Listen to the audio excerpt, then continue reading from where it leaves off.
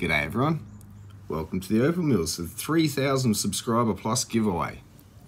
This video is for all of you who have taken the time to subscribe to this channel and help build it up to what it is uh, without me prompting you at all. So thank you so much, especially. Um, I'm having a lot of fun still. um, and so, yeah, again, time to say thank you. And so at the moment, we've come up with this uh, over this side, we've got both sides will have a set of these stamps.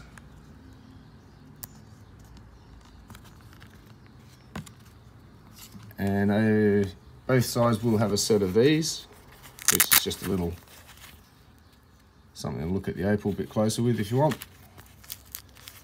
And a jar. So on this side, we've got a jar of some sort of some rubs that I've just stopped working on for some reason. Some of them are, yeah, nothing wrong with them too much. You'll get stones out of them, so that's kind of a beginner parcel dream. Some really nice colour in there, and you will get some really nice stones out of it. And I think I threw this one in from a video I did I might uh, on the giveaway. Um, someone to play around with. So we've had this kindly donated by Ken. And so that's on this side. It's very nice pendant, set in resin, some nice opal chips. Right colour. And Opal Hunters.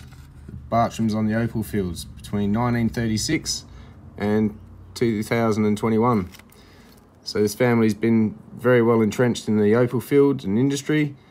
And this book is so full of history um, that you won't see in any movies or any other books really with the amount of information coalesced in this one book. Um, very well worth the read. I'm still getting through it, uh, reading and rereading some of it. It's quite interesting. Um, a lot of information in there, very well worth a look. I do have copies of these Available at $50 each, plus postage, if anyone's interested. It's Australian dollars. Um, but yeah, so there'll be a copy of that on this side. So that'll be the main giveaway. And over here, same again, set of stamps, little loop, uh, and a jar of opal. So again, beginner parcel, not so much rubs in there, but Fair bit of colour, something to play around with. A lot of little Dremel, little carvings maybe, um, and some stones. And I threw that in. Just for the heck of it. um, so that'll be giveaway number two. Okay, so for this giveaway, I had to try and figure out a way to give away to two people. And I thought, how to do this. So obviously for starters, must be a subscriber. Being a subscriber giveaway, it should be pretty clear. Um, so, all right, how to get people entered in this giveaway. So I thought, what about a comment? It'll be easy. That'll get everybody who's actually interested in the giveaway. I'm not just going to put everybody in there, um, over 3,000, um, unless 3,000 people specifically want to be in there, which is quite fine. And more the better. But I thought I'm not going to, yeah, some people may not want some of this stuff. Um, who knows? That's happened in the past. So I thought I'll leave it up to you guys to be in it. And obviously being a subscriber, you're eligible. So step one. All right, leave a comment. Um, comment on what? So I thought it's going to have no bearing on your win, losing or drawing on a giveaway, but leave a comment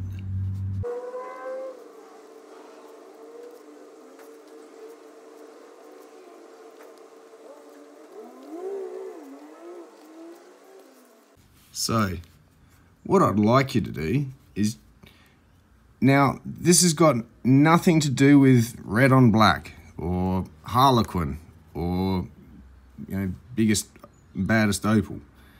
This is about let me know like what's your favorite color opal combined with your favorite pattern, um, your favorite cut, whether it be carved, cut, uh, oval, round.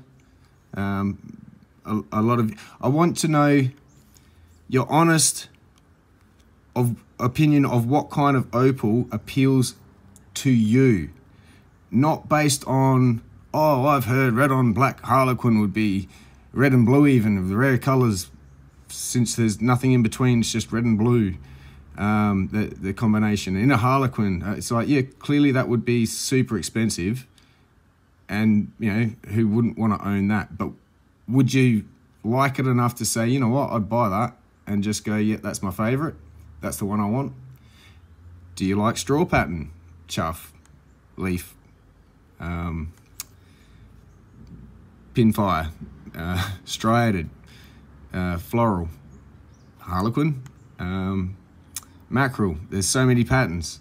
Um, but the color combination or singular color or broad flash or flagstone, they don't have to be patterns as such, they can just be flash. Do you like a rolling flash? Uh, do you like to turn it and have it flash or would you just like it to glare at you in every direction? Um, so just to comment on what's your personal ideal stone that you would like, you know, if you saw it, you'd go, oh, I'd like to know the price on that because I'd consider buying it type thing. Um, even if you may or may not have the money to, you at least asked the price, you know, something, if you can get the gist of what I'm getting at, something you'd actually consider buying though, you know, because you do like it. So that kind of an opal, just leave a comment. I hope that's not too long-winded, um, but that will bear nothing on whether you win, lose or draw. So that'll just signify you want to be in the giveaway. So then I thought, how do I pick two people.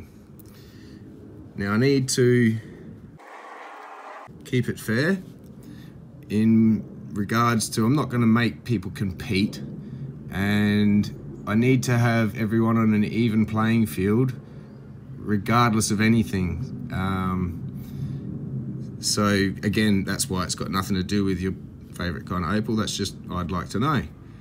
Now, keeping it fair, I thought I need to be impartial and non-decisive on my part as far as I don't want to pick somebody.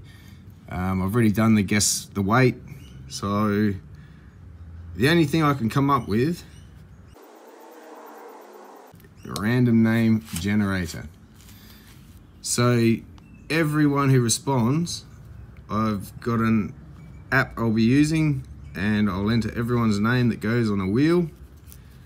I'll I'll hit the shuffle button a few times and that will, after I've entered everyone's name in, it will just reorder them in a random different order.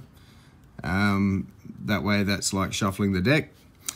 And then I tap the wheel, it spins.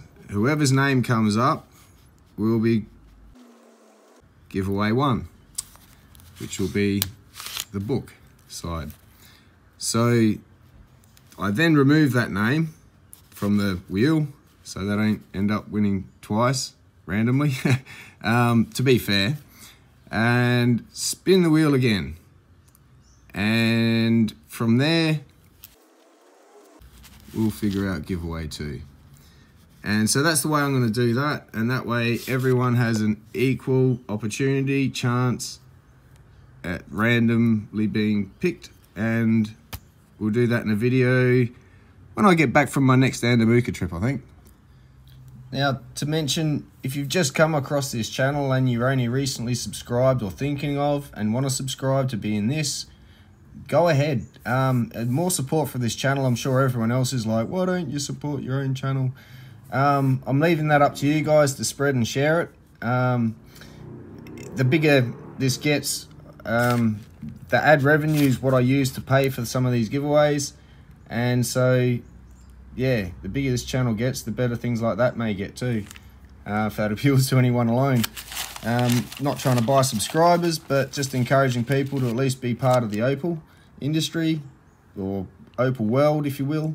Um, I'll be doing lots of videos coming up on mining, buying, selling, cutting, carving, treating, setting in um, gold and silver, uh, treating matrix is what I was talking about.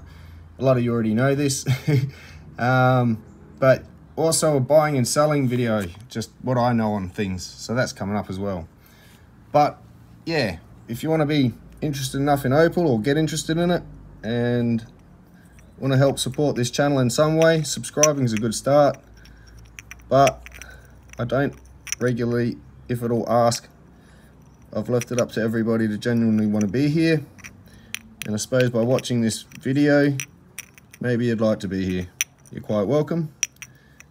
So yeah, if you want to be in the chance for this, subscribe.